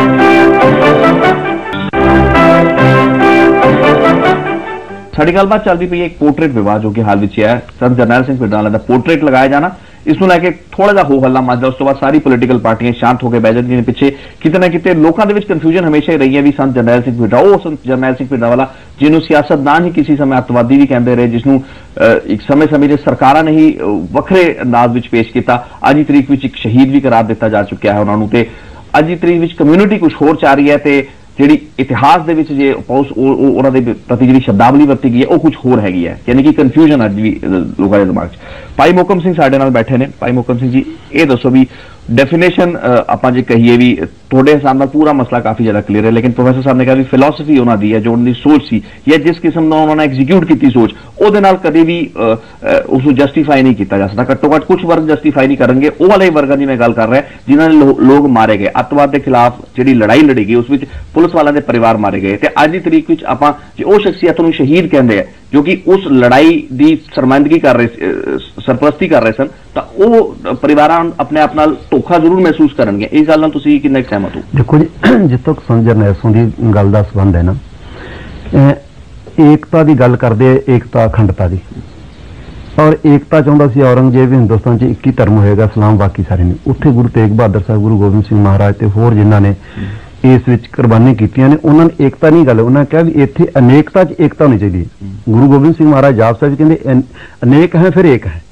ਯਾਨੀ ਕਿ ਅਨੇਕਤਾ 'ਚ ਏਕਤਾ ਦੀ ਗੱਲ ਤਾਂ ਚੱਲ ਸਕਦੀ ਹੈ। ਜੇ ਕੋਈ ਜ਼ਬਰਦਸਤੀ ਕਹੇ ਵੀ ਸਿੱਖ ਧਰਮ ਜਿਹੜਾ ਹੈ ਇਹਨੂੰ ਕੁਚਲ ਕੇ ਇਹਨੂੰ ਖਤਮ ਕਰਕੇ ਸਮਾਪਤ ਕਰਕੇ ਏਕਤਾ ਕਰਨੀ ਇਹੋ ਜਿਹੀ ਏਕਤਾ ਖੰਡਤਾ ਜਿਹੜੀ ਹੈ ਉਹ ਦੇਸ਼ ਲਈ ਵੀ ਸਮਾਜ ਲਈ ਵਿਅਕਤੀਆਂ ਲਈ ਘੱਟ ਹੈ। ਮੈਂ ਤੁਹਾਡੇ ਤੋਂ ਕੁਝ ਹੋਰ ਪੁੱਛਣਾ ਦੂਸਰੀ ਗੱਲ ਜਿਹੜੀ ਤੁਸੀਂ ਜੋ- ਹੈ ਹਾਂ। ਦੂਸਰੀ ਜਿਹੜੀ ਉਹ ਪਰਿਵਾਰਾਂ ਦਾ ਕੀ ਜਿਨ੍ਹਾਂ ਦੇ। ਲੋਕ ਮਾਰੇ ਗਏ ਉਸੇ ਲੜਾਈ ਦੇ ਵਿੱਚ। ਅੱਜ ਅਸੀਂ ਉਹਨਾਂ ਨੂੰ ਸ਼ਹੀਦ ਕਹਿ ਕੇ ਉਹ ਪਰਿਵਾਰਾਂ ਨੂੰ ਕਿਵੇਂ ਜਵਾਬ ਜਸਟੀਫਾਈ ਕਰਾਂਗੇ? ਦੇ- ਇਹਦਾ ਜਵਾਬ ਮੈਂ ਦੇ ਰਿਹਾ। ਜੇ ਇਹ ਗੱਲ ਕਹੋਗੇ ਤਾਂ ਅਸੀਂ ਇਹ ਗੱਲ ਕਹਿੰਦੇ ਆ ਵੀ ਇੰਦਰਾ ਗਾਂਧੀ ਨੇ ਦਰਬਾਰ ਸਾਹਿਬ ਤੇ ਹਮਲਾ ਕੀਤਾ। ਰਾਜੀਵ ਗਾਂਧੀ ਨੇ ਉੱਥੇ ਅਹ, ਦਿੱਲੀ ਦੇ ਵਿੱਚ ਹੋਰ ਸ਼ਹਿਰ ਦੇਸ਼ ਵਿੱਚ ਇੱਕ ਕਤਲੇਆਮ ਕੀਤੀ। ਸੁਪਰੀਮ ਕੋਰਟ ਦੇ ਜੱਜ ਹਾਈ ਕੋਰਟ ਦੇ ਜੱਜ ਕੰਨਾਂ ਨੂੰ ਵਿੱਚ ਰੂਮ ਪਾ ਕੇ ਅੱਖਾਂ ਦੇ ਬੰਦ ਕਰਕੇ ਬੈਠੇ ਰਹੇ। ਤੇ ਕੀ ਮਤਲਬ ਉਹਨਾਂ ਲੋਕਾਂ ਨੂੰ ਕੀ ਕਿਹਾ ਜਾਵੇ? ਉਹ ਖਲਨਾਇਕ ਨਹੀਂ ਤਾਂ ਕੀ ਨੇ? ਉਹਨਾਂ ਨੂੰ ਉਹਨਾਂ ਨੂੰ ਕਦੀ ਉਪਾਧੀ ਵੀ ਨਹੀਂ ਨਾ ਦਿੱਤੀ ਜਾ ਸਕਦੀ ਬੁਲਾ ਕੇ। ਉਹਨਾਂ ਨੂੰ ਕਦੀ ਸਰੋਪਾ ਨਹੀਂ ਪਾਇਆ ਜਾ ਸਕਦਾ ਦੇਖੋ, ਨਾ। ਇਤਿਹਾਸ ਨੂੰ ਉਹਨਾਂ ਦੇ ਉਸ ਤਰੀਕੇ ਨਾਲ ਪੋਰਟਰੇਟ ਉਹਨਾਂ ਦੇ reverse- ਪੋਰਟਰੇਟ ਵੀ ਨਹੀਂ ਲੱਗੇ। ਉਹਨਾਂ ਦੇ ਪੋਰਟਰੇਟ ਇੰਦਰਾ ਗਾਂਧੀ ਦੇ ਪਾਰਲੀਮੈਂਟ 'ਚ ਲੱਗੇ ਉਹ ਲਾਏ ਚਾਹੇ ਲਾਏ ਲਾਏ ਜਾਣੇ ਚਾਹੀਦੇ ਦਰਬਾਰ ਸਾਹਿਬ ਚ ਲਾਇਆ ਜਾ ਸਕਦਾ ਦਰਬਾਰ ਸਾਹਿਬ ਸਿੱਖਾਂ ਦਾ ਮਸਲਾ ਹੈ। ਕਿੱਥੇ ਹਿੰਦੁਸਤਾਨ ਵਿੱਚ ਤੁਸੀਂ ਲਾ ਸਕਦੇ ਹੋ? ਅਸੀਂ ਨਹੀਂ ਲਾ ਸਕਦੇ। ਨਹੀਂ ਨਹੀਂ ਮੈਂ ਇਹੀ ਤਾਂ ਜਾਨਣਾ ਚਾਹ ਰਿਹਾ ਵੀ ਸਿੱਖਾਂ ਦਾ ਮਸਲਾ ਕਿਵੇਂ ਹੈ? ਪੂਰੀ ਕਮਿਊਨਿਟੀ ਨੂੰ ਦੇਖਣਾ ਪਏਗਾ ਨਾ। ਪੂਰਾ ਹਿੰਦੁਸਤਾਨ ਕੀ ਤੁਹਾਡੇ ਲਈ ਉਹ ਲੋਕ ਜਿਹੜੇ ਕਿ ਪੰਜਾਬ ਜਾਂ ਸਿੱਖਾਂ ਤੋਂ ਬਾਹਰ ਵਸਦੇ ਨੇ ਉਹ ਲੋਕ ਨਹੀਂ ਹੈ ਜਾਂ ਉਹਨਾਂ ਦੀ ਸੋਚ ਕਦੇ ਮੈਟਰ ਨਹੀਂ ਕਰਦੀ? ਮੈਂ ਨਾ ਜੀ ਉਹਨਾਂ ਦੇ ਵਾਸਤੇ ਕੀ ਸਿੱਖ ਲੋਕ ਨਹੀਂ ਗਏ? ਸਿੱਖ ਵਿਅਕਤੀ ਨਹੀਂ ਗਏ? ਨਹੀਂ ਮੇਰਾ ਸਵਾਲ ਹੈ ਸਿੱਖ ਤੁਸੀਂ ਨਹੀਂ ਉਹਦਾ ਮਰੇ। ਜਵਾਬ ਦਿਓ। ਸਿੱਖ ਨਹੀਂ ਮਰੇ। ਦੇਖੋ ਉਹ- ਉਹ- ਉਹਨਾਂ ਦੀ ਪਰਸੈਪਸ਼ਨ ਨੂੰ ਚੇਂਜ ਕਰਨਾ ਵੀ ਤੁਸੀਂ ਕਰਨਾ ਪਹਿਲੀ ਆਪਣਾ ਅੰਦਰੂਨੀ ਮਾਮਲਾ ਕਹਿ ਕੇ ਕਿਵੇਂ ਚੇਂਜ ਅੰਦਰੂਨੀ ਮਾਮਲਾ ਵੀ ਨਹੀਂ ਕਹਿੰਦਾ ਮੈਂ ਓਪਨਲੀ ਗੱਲ ਕਰਦਾ। openly ਹੀ ਸੰ- ਗੱਲ ਕਰਨੀ ਪਹਿਲੀ ਪੈਣੀ ਹੈ, ਇਹਦਾ ਜਵਾਬ ਨਹੀਂ ਹੈ। ਸੰਤ ਜਰਨੈਲ ਸਿੰਘ ਦੀ ਸ਼ਖਸੀਅਤ ਨੂੰ ਵਾਚਣ ਲੱਗਿਆ ਪਹਿਲਾਂ ਸੋਚੋ ਉਹ ਵਿਅਕਤੀ ਜਿਸ ਦੇ ਉੱਪਰ ਅਹ, ਸਾਰੇ ਸਿੱਖਾਂ ਨੇ ਵਿਰੋਧ ਕੀਤਾ ਆਪਣੇ ਜਿਹੜੇ ਮਿਲੇ ਹੋਏ ਸਰਕਾਰਾਂ ਵੱਲੋਂ ਤਗਮੇ ਜੋ ਕੁਝ ਵੀ ਸੀ ਉਹ ਸਾਰੇ ਪਦੋਂ ਪੁੱਛਵਾ ਸਭ ਵਾਪਸ ਕੀਤੇ। ਸ- ਜਨ ਸੁਧਾਰ ਨੇ। ਭਗਤ ਪੂਰਨ ਸਿੰਘ ਵਰਗੇ ਇੱਕ ਭਗਤ ਤੋਂ ਲੈ ਕੇ ਇੱਕ ਸਿਆਸਤਦਾਨ ਤੋਂ ਲੈ ਕੇ ਇੱਕ ਲਖਾਰੀਆਂ ਤੋਂ ਲੈ ਕੇ ਇੱਕ ਫੌਜੀ ਅਫਸਰਾਂ ਤੋਂ ਲੈ ਕੇ ਜਨ ਸੁਧਾਰਨ ਤੱਕ ਬਿੰਦਾ ਜਿਹੜਾ ਉਹ ਬਿਲਕੁਲ ਵਾਪਸ ਕਰਦਾ ਹੈ। ਕੀ ਸਮਝਦੇ ਨਹੀਂ ਤੁਸੀਂ ਵੀ ਸਿੱਖਾਂ ਦੀਆਂ ਭਾਵਨਾਵਾਂ ਨੂੰ ਕਿ ਵੱਡੀ ਠੇਸ ਵੱਜੀ ਹੋਏਗੀ? ਲੱਕੀ ਜੀ ਮੈਂ ਬੜੇ ਇੰਪੋਰਟੈਂਟ ਇੱਕ ਅਹਿਮ ਛੋਟਾ ਜਿਹਾ ਨੁਕਤਾ ਦੇਣਾ ਚਾਹਾਂਗਾ। ਕਿ ਅਸੀਂ ਜਾਂ ਇਸ ਵਿਵਾਦ ਵਿੱਚ ਇਹ ਕਹਿ ਕੇ ਤੁਰਿਆ ਜਾ ਰਿਹਾ ਹੈ ਕਿ ਉਹ ਅਤਵਾਦੀ ਸੀ। ਸੰਤ ਜਰਨੈਲ ਸਿੰਘ ਟੈਰਰਿਸਟ ਸੀ। ਇਹ ਇਹ ਮੈਂ ਉਸ ਵਕਤ ਦੀ ਸ਼ਬਦਾਵਲੀ ਉਸ ਵਰਤ ਰਿਹਾ। ਸ਼ਬਦਾਵਲੀ ਬਿਲਕੁਲ। ਉਹ ਅਤਵਾਦੀ ਸੀ ਉਹ ਹਿੰਦੂਆਂ ਦਾ ਕਾਤਲ ਸੀ ਉਹ ਮਿਨੋਰਿਟੀਜ਼ ਦਾ ਕਾਤਲ ਸੀ। ਹੁਣ ਸਵਾਲ ਇਹ ਇਹ ਲੋਕ ਇਹ ਲੋਕ ਮੇਰੇ ਵਰਗੇ ਲੋਕ ਭੁੱਲ ਸਕਦੇ ਨੇ। ਮੇਰੀ। ਮੈਮਰੀ ਚ ਜਾ ਸਕਦਾ ਲੇਕਿਨ ਜਿਹਨਾਂ ਪਰ ਪਰਿਵਾਰ ਮਾਰੇ ਗਏ ਉਸ ਲੜਾਈ ਤੋਂ ਉਹਨਾਂ ਦੀ ਮੈਮਰੀ ਚੋਂ ਕਿਵੇਂ ਦੇਖੋ ਇੱਕ ਇਨੋਸੈਂਟ ਬੰਦੇ ਤੇ ਅਸਰ ਕਰੇਗਾ ਜਦੋਂ ਕਿ ਮੀਡੀਆ ਰਾਹੀਂ ਜਦੋਂ ਬਾਰ-ਬਾਰ ਪ੍ਰਚਾਰ ਕੀਤਾ ਜਾਏਗਾ ਔਰ ਇਹ ਕਿਹਾ ਜਾਏਗਾ ਕਿ ਉਹਨਾਂ ਦੀਆਂ ਭਾਵਨਾਵਾਂ ਕਿੱਦਾਂ ਹੋਣਗੀਆਂ ਇਹਦਾ ਮਤਲਬ ਮੰਨ ਕੇ ਤੁਰ ਲਿਆ ਕਿ ਉਹ ਕਾਤਲ ਸੀ। ਹੁਣ ਸਵਾਲ ਹੈ ਕਿ ਉਹ ਅਤਵਾਦੀ ਸੀ ਠੀਕ ਹੈ ਜੀ? ਟੈਰਰਿਸਟ ਸੀਗਾ। ਟੈਰਰਿਸਟ ਨੂੰ ਗੋਲੀ ਨਾਲ ਉਡਾਇਆ ਜਾ ਸਕਦਾ। ਜੇ ਟੈਰਰਿਸਟ ਉਹਨੂੰ ਗੋਲੀ ਨਾਲ ਉਡਾਤਾ ਕੋਈ ਹਰਜ ਨਹੀਂ। ਪਰ ਵੇਖਣ ਵਾਲੀ ਚੀਜ਼ ਹੈ ਕਿ ਟੈਰਰਿਸਟ ਹੈ ਕੀ ਚੀਜ਼ ਹੈ ਸਾਡੇ ਮੌਜੂਦਾ ਸੰਵਿਧਾਨੀ ਢਾਂਚੇ ਦੇ ਵਿੱਚ 1947 ਦੇ ਵਿੱਚ ਸਰਕੂਲਰ ਜਾਰੀ ਹੁੰਦਾ ਹੈ ਸਿੱਖ ਉਜੜ ਪੁਜੜ ਕੇ ਆਉਂਦੇ ਆ ਸਾਰੇ ਪੰਜਾਬ ਚੋਂ ਇਧਰੋਂ ਆਉਂਦੇ ਆ। ਆਉਂਦੇ ਸਾਰ 2 ਅਕਤੂ- ਅਹ 10 ਅਕਤੂਬਰ 1947 ਨੂੰ ਇੱਕ ਸਰਕੂਲਰ ਜਾਰੀ ਹੋ ਜਾਂਦਾ ਸਾਰੀ ਸਿੱਖ ਕੌਮ ਜਰਾਇਮ ਪੇਸ਼ਾ ਕੌਮ ਹੈ। ਇਹਨੂੰ ਸਖਤੀ ਨਾਲ ਦਬਾ ਦਿੱਤਾ ਜਾਏ। ਇਹ ਫੌਜ ਦੇ ਹਵਾਲੇ ਕਰਨ ਤੋਂ ਪਹਿਲੇ ਇੱਕ ਬੜੀ ਅਹਿਮ ਹੈ ਤੁਸੀਂ ਦੇਖੋ ਇਹਨੂੰ ਇਗਨੋਰ ਕੀਤਾ ਗਿਆ ਸਾਰੀਆਂ ਪਾਰਟੀਆਂ ਨੇ ਇਗਨੋਰ ਕੀਤਾ। ਤੁਸੀਂ ਕਹਿ ਰਹੇ ਹੋ ਨਹੀਂ ਨਹੀਂ ਮੈਂ ਨਹੀਂ ਕਹਿ ਰਿਹਾ ਵਿਤਕਰੇ ਦੀ ਨਹੀਂ ਮੈਂ ਕਹਿ ਰਿਹਾ। 1975 ਚ ਐਮਰਜੈਂਸੀ ਲੱਗੀ ਥੋੜੀ ਚਿਰ ਲਈ ਸਾਰੀਆਂ ਪਾਰਟੀਆਂ ਨੇ ਵਿਰੋਧ ਕੀਤਾ। 1979 ਦੇ ਵਿੱਚ ਪੂਰੇ ਸਿਰਫ ਪੰਜਾਬ ਦੇ ਵਿੱਚ ਹਿੰਦੁਸਤਾਨ ਚ ਸੰਵਿਧਾਨ ਦੀ ਅਮੈਂਡਮੈਂਟ ਕਰਕੇ ਕਨਸਟੀਟਿਊਸ਼ਨ ਅਮੈਂਡਮੈਂਟ ਨਾਲ ਪੰਜਾਬ ਦੇ ਵਿੱਚ ਐਮਰਜੈਂਸੀ ਲਗਾਈ ਜਾਂਦੀ ਹੈ। 11 ਸਾਲ ਰਹਿੰਦੀ ਹੈ ਔਰ ਉਸ ਦੇ ਵਿੱਚ ਕੋਈ ਗੱਲ ਨਹੀਂ ਉਹਦੀ ਕਰਦਾ। ਔਰ ਪੰਜਾਬ ਵਿੱਚ ਫੌਜ ਭੇਜਣ ਤੋਂ ਪਹਿਲਾਂ ਇਹ ਕਿਹਾ ਜਾਂਦਾ ਹੈ, ਇੱਕ ਸਰਕੂਲਰ ਜਾਰੀ ਕੀਤਾ ਜਾਂਦਾ ਹੈ ਕਿ ਟੈਰਰਿਸਟ ਜਿਹੜੇ ਆ ਇਹਨਾਂ ਨੇ ਪੰਜਾਬ ਤੇ ਕਬਜ਼ਾ ਕਰ ਲਿਆ। ਇਹ ਜਿਹੜੇ ਬੰਦੇ ਹੈਗੇ ਇਹਨਾਂ ਦਾ ਮੁਕਾਬਲਾ ਕਰਨਾ ਔਰ ਟੈਰਰਿਸਟ ਦੀ ਡੈਫੀਨੇਸ਼ਨ ਦਿੱਤੀ ਜਾਂਦੀ ਹੈ। ਇਹ ਅੰਮ੍ਰਿਤਧਾਰੀ ਹੈ। ਨਹੀਂ ਨਹੀਂ ਅੰਮ੍ਰਿਤਧਾਰੀ ਹੈਗੇ। ਲਾਂਬਾ ਜੀ ਮੈਂ ਮੈਂ ਪ੍ਰੋਫੈਸਰ ਸਾਹਿਬ ਤੋਂ ਸ਼ੁਰੂਆਤ ਕਰਾਂਗਾ। ਮੈਂ ਤੋਂ ਕਹਿ ਸਮਝ ਗਿਆ ਇਹ ਅੰਮ੍ਰਿਤਧਾਰੀ- ਇੱਕ ਦੂਸਰੇ ਟਰੈਕ ਤੇ ਤੁਰ। ਮੈਂ ਮੈਂ ਮੈਂ- ਅੰਮ੍ਰਿਤਧਾਰੀ ਨੂੰ ਟੈਰਰਿਸਟ ਡਿਕਲੇਅਰ ਕੀਤਾ ਗਿਆ ਹੈ, ਮੈਂ- ਉਹਦੇ ਬਾਅਦ ਐਕਸ਼ਨ ਮੈਂ- ਜੇ ਮੈਂ- ਅਗਰ ਉਹ ਟੈਰਰਿਸਟ ਹੈ ਅਗਰ ਅੰਮ੍ਰਿਤਧਾਰੀ ਟੈਰਰਿਸਟ ਹੈ ਫਿਰ ਪਿੰਡਰਾ ਵਾਲਾ ਟੈਰਰਿਸਟ ਹੈ। ਠੀਕ ਹੈ। ਪ੍ਰੋਫੈਸਰ ਸਾਹਿਬ ਪ੍ਰੋਫੈਸਰ ਸਾਹਿਬ ਪ੍ਰੋਫੈਸਰ ਸਾਹਿਬ ਮੈਂ। ਮੈਂ ਮੈਂ ਰੀਕਨਸੀਲੀਏਸ਼ਨ ਦੀ ਗੱਲ ਕਰ ਰਿਹਾ ਅੱਜ ਦੀ ਤਰੀਕ ਵਿੱਚ ਅਸੀਂ ਇੱਕ ਐਸੇ ਦੌਰ ਦੇ ਵਿੱਚ ਪਿੰਡਾਂ ਵਾਲੇ ਉਹਨਾਂ ਨੂੰ ਸ਼ਹੀਦ ਵੀ ਕਹਿ ਰਹੇ ਹਾਂ ਉਹਨਾਂ ਦੇ ਪੋਰਟਰੇਟ ਵੀ ਲਗਾ ਰਹੇ ਜਿਸ ਤੋਂ ਮੈਨੂੰ ਪਰਸਨਲੀ ਕੋਈ ਆਪੱਤੀ ਨਹੀਂ ਹੈਗੀ। ਲੇਕਿਨ ਸਵਾਲ ਇਹ ਪੈਦਾ ਹੁੰਦਾ ਇਹ ਚੀਜ਼ ਹੋ ਰਹੀ ਹੈ ਬਿਨਾਂ ਕਿਸੇ ਰੀਕਨਸੀਲੀਏਸ਼ਨ ਤੋਂ ਤੇ ਬਿਨਾਂ ਉਹਨਾਂ ਚੀਜ਼ਾਂ ਦਾ ਮੁਲਾਂਕਣ ਕੀਤੇ ਬਗੈਰ ਜੋ ਕਿ ਉਸ। ਵਕਤ ਵਾਪਰ ਮੇਰਾ ਮੇਰਾ ਮੇਰਾ ਸਿੰਪਲ ਜਿਹਾ ਸਵਾਲ ਹੈ। ਉਹ ਇਹ ਹੈ ਕਿ ਸੰਤ ਹਰਚੰਦ ਸਿੰਘ ਲੌਂਗੋਵਾਲ ਦੀ ਫੋਟੋ ਵੀ ਉੱਥੇ ਹੈ। ਹਾਂਜੀ। ਔਰ ਉੱਥੇ ਜਿੰਦਾਲ ਔਰ ਸੁਖਾ ਜੀ ਦੀ ਫੋਟੋ ਵੀ। ਉੱਥੇ ਲਾਈ ਹੈ। ਉੱਥੇ ਹੀ ਪਿੰਡਾਂ ਵਾਲੇ ਦੀ ਉੱਥੇ ਹੀ ਬਿਆਨ ਸਿੰਘ ਦੀ ਉੱਥੇ ਹੀ ਸਤਵੰਤ ਸਿੰਘ ਦੀ ਫੋਟੋ ਵੀ ਹੈ। ਇਹ ਸਾਰਾ ਤੁਹਾਨੂੰ ਨਹੀਂ ਲੱਗਦਾ ਹੈ ਕਿ ਇੱਕ ਐਸਾ ਕੈਸਾ ਮੇਲ ਹੈ? ਜਾਂ ਤਾਂ ਐਂ ਕਰ ਲੈਣ ਵੀ ਦੋ ਅਜਾਇਬ ਘਰ ਬਣਾ ਲੈਣ। ਇੱਕ ਤਾਂ ਇਹਨਾਂ ਦਾ ਅਜਾਇਬ ਘਰ ਹੋ ਜੇ ਇੱਕ ਉਹਨਾਂ ਦਾ ਅਜਾਇਬ ਘਰ ਹੋ ਜੇ। ਇਹ ਆਪਣੇ ਵਾਲੇ ਨੂੰ ਕਹੀ ਜਾਣ ਸ਼ਹੀਦ ਉਹ ਆਪਣੇ ਵਾਲੇ ਨੂੰ ਕਹੀ ਜਾਣ। ਲੋਕ ਦੇਖ ਲੈਣਗੇ ਇਨਸਾਫ ਕਰ ਲੈਣਗੇ। ਇਹ ਦੋ ਇੱਕ ਜਗ੍ਹਾ ਕਰਨਾ ਕਿਸੇ ਦੀ ਵਿਚਾਰਧਾਰਕ ਸਾਂ ਉਹ ਮੈਨੂੰ ਕਲੈਰਿਟੀ ਹੈ ਬਹੁਤ। ਇੰਪੋਰਟੈਂਟ ਬਹੁਤ ਬੜਾ ਕਿਉਂਕਿ ਕਿਤੇ ਨਾ ਕਿਤੇ ਸਮ- ਸਮਝ ਇਹ ਵਿੱਚ ਨਹੀਂ ਆ ਰਿਹਾ ਕਿਉਂਕਿ ਪੰਜਾਬ ਦੇ ਵਿੱਚ ਇੱਕ ਐਸਾ ਖੂਨੀ ਸਾਕਾ ਰਿਹਾ ਕਈ ਦਹਾਕਿਆਂ ਤੱਕ ਰਿਹਾ ਲੇਕਿਨ ਉਹਦੀ ਕਦੀ ਰੀਕਨਸੀਲੀਏਸ਼ਨ ਨਹੀਂ ਹੋਈ। ਉਹਦੇ ਲਈ ਕੋਈ ਰੀਕਨਸੀਲੀਏਸ਼ਨ ਕਮਿਸ਼ਨ ਨਹੀਂ ਬਿਠਾਏ ਗਏ। ਲੋਕਾਂ ਨੂੰ ਇਹ ਨਹੀਂ ਸਮਝ ਵਿੱਚ ਆਇਆ ਕਿ ਉਸ ਟਾਈਮ ਕੀ ਹੋਇਆ ਸੀਗਾ ਤੇ ਅੱਜ ਜੋ ਲੀਡਰ ਸਾਡੀ ਜਮਾਤ ਕਹਿ ਰਹੀ ਹੈ ਸਿਆਸੀ ਉਹ ਠੀਕ ਹੈ ਜਾਂ ਉਸ ਵਕਤ ਜੋ ਸ਼ਬਦਾਵਲੀ ਵਰਤੀ ਜਾ ਰਹੀ ਸੀ ਉਹ ਠੀਕ ਹੈ। ਕਿਤੇ ਨਾ ਕਿਤੇ ਪ੍ਰੋਫੈਸਰ ਸਾਹਿਬ ਦਾ ਪੁਆਇੰਟ ਵੀ ਠੀਕ ਹੈ ਵੀ ਜੇ ਅਜਾਇਬ ਕਰੀ ਬਾਨੇ ਨੇ ਤਾਂ ਸ਼ਾਇਦ ਦੋ ਹੋਣੇ ਚਾਹੀਦੇ ਨੇ, ਜਿਨ੍ਹਾਂ ਵਿੱਚ ਕੀ ਵੱਖਰੀ ਵੱਖਰੀ ਕੌਮਾਂ ਦੇ ਤੇ ਵੱਖਰੇ ਵੱਖਰੇ ਜਿਹੜੀ ਕਮਿਊਨਿਟੀਜ਼ ਦੇ ਆਪਣੇ ਆਪਣੇ ਸ਼ਹੀਦ ਹੈ। ਲੇਕਿਨ ਕੀ ਇਹ ਸੰਭਵ ਹੈ ਕਿ ਇਸ ਇਸ ਇਹ ਜਨਰੇਸ਼ਨ ਡਿਜ਼ਰਵ ਨਹੀਂ ਕਰਦੀ ਕਿ ਉਹਨਾਂ ਨੂੰ ਸੱਚਾਈ ਦਾ ਪਤਾ ਲੱਗੇ? ਉਹ ਰੀਕਨਸੀਲੀਏਸ਼ਨ ਕਦੋਂ ਹੋਏਗੀ? ਇਸ ਉੱਤੇ ਸਾਡੀ ਡਿਬੇਟ ਜਿਹੜੀ ਹੈਗੀ ਅਗਲੇ ਸੈਗਮੈਂਟ ਵਿੱਚ ਇਸੇ ਪੁਆਇੰਟ ਤੋਂ ਜਾਰੀ ਰੱਖਾਂਗੇ। ਸਾਡੀ ਗੱਲਬਾਤ ਚੱਲਦੀ ਪਈ ਹੈ ਸੰਤ ਜਰਨੈਲ ਸਿੰਘ ਪਿੰਡਾਲਾ ਉਹਨਾਂ ਦਾ ਪੋਰਟਰੇਟ ਲੱਗਿਆ ਉਸ ਤੋਂ ਬਾਅਦ ਇੱਕ ਵਿਵਾਦ ਉੱਭਰਿਆ। ਮੈਂ ਇਸ ਵਕਤ ਭਾਈ ਮੋਕਮ ਸਿੰਘ ਜੀ ਦੇ ਦੁਬਾਰਾ ਆਵਾਂਗਾ। ਭਾਈ ਮੋਕਮ ਸਿੰਘ ਜੀ ਪ੍ਰੋਫੈਸਰ ਸਾਹਿਬ ਨੇ ਬੜੀ ਬਿਲਕੁਲ ਸਹੀ ਗੱਲ ਕੀਤੀ ਵੀ ਸ਼ਹੀਦ ਸਾਡੇ ਲਈ ਬੇਅੰਤ ਸਿੰਘ ਵੀ ਹੈਗੇ ਨੇ ਸ਼ਹੀਦ ਸਾਡੇ ਲਈ ਹਰਚੰਦ ਸਿੰਘ ਹਰਚੰਦ ਸਿੰਘ ਲੌਂਗੋਵਾਲ ਵੀ ਹੈਗੇ ਨੇ ਵੱਖਰੇ ਵੱਖਰੇ ਲੜਾਈਆਂ ਇੱਕ ਦੂਜੇ ਦੇ ਲੜਾਈ ਮਤਲਬ ਸਾਡੀ ਕਮਿਊਨਿਟੀ ਹਲੇ ਤੱਕ ਇਹ ਨਹੀਂ ਡਿਸਾਈਡ ਕਰ ਪਾਈ ਵੀ ਸਾਡੇ ਲਈ ਸ਼ਹੀਦ ਕੌਣ ਹੈਗੇ ਤੇ ਕੌਣ ਨਹੀਂ ਹੈਗੇ ਨੇ। ਪਿੰਡਰਾਂ ਵਾਲਾ ਸਾਹਿਬ ਤਾਂ ਚੰਦ ਕੌਰ ਕਹਿੰਦੇ ਰਹੇ ਹਰਚੰਦ ਸਿੰਘ ਲੌਂਗੋਵਾਲ ਨੂੰ। ਦੇਖੋ ਜੀ ਪਹਿਲੀ ਗੱਲ ਤਾਂ ਉਹਨਾਂ ਨੇ ਨਾਂ ਚੰਦ ਕੌਰ ਕਿਹਾ। ਅਖਬਾਰਾਂ ਛਪਿਆ ਪੜਿਆ ਮੈਂ ਤਾਂ ਮੇਰੇ ਹੁੰਦਿਆਂ ਤਾਂ ਕਦੇ ਕਿਹਾ ਉਹਨਾਂ ਦੇ ਸਾਡੇ ਕੋਲ ਕੈਸਟਾਂ ਸਭ ਕੁਝ ਉਹਨਾਂ ਦਾ ਉਹ ਤਾਂ ਸੰਤ ਜੀ ਕਰਕੇ ਸਤਿਕਾਰ ਵੀ ਕਰਦੇ ਰਹੇ ਆ। ਦੇਖੋ ਉਹਨਾਂ ਦੋਨਾਂ ਨੇ ਇੱਕੇ ਜਗ੍ਹਾ ਤੇ ਬੈਠ ਕੇ ਮੋਰਚਾ ਲਾਇਆ। ਉਹਦੇ 'ਚ ਲੱਖਾਂ ਬੰਦਿਆਂ ਦੀ ਗ੍ਰਿਫਤਾਰੀ ਹੋਈ ਹੈ। ਔਰ ਉਹਦੇ ਦਰਮਿਆਨ ਝੂਠੇ ਮੁਕਾਬਲੇ ਕੁੱਟਣਾ ਮਾਰਨਾ ਇਸ ਤਰ੍ਹਾਂ ਦੀ ਪੋਜੀਸ਼ਨ ਸਰਕਾਰ ਵੱਲੋਂ ਕ੍ਰੀਏਟ ਕੀਤੀ ਗਈ। ਔਰ ਇਹ ਇੱਥੇ ਹੀ ਨਹੀਂ ਸੰਤ ਵਾਲੀ ਜਦੋਂ ਤੁਸੀਂ ਪਹਿਲਾਂ ਸਾਰੀ ਮੈਂ ਤੁਹਾਡੀ ਗੱਲ ਨਾਲ ਬਿਲਕੁਲ ਸਹਿਮਤ ਹਾਂ ਸੰਤ ਜਰਨੈਲ ਤੋਂ ਸਵਾਲ ਕਰ ਰਹੇ ਹੋ। ਤੁਸੀਂ ਸੰਤ ਜਰਨੈਲ ਤੋਂ ਸਵਾਲ ਕਰ ਰਹੇ ਹੋ। ਮੈਨੂੰ ਸੰਤ ਜਰਨੈਲ ਸਿੰਘ ਬਾਰੇ ਇੱਕ ਸਥਿਤੀ ਜਿੰਨਾ ਜੇ ਮੈਂ ਨਹੀਂ ਦੱਸਾਂਗਾ ਲੋਕ ਕੀ ਕਹਿਣਗੇ?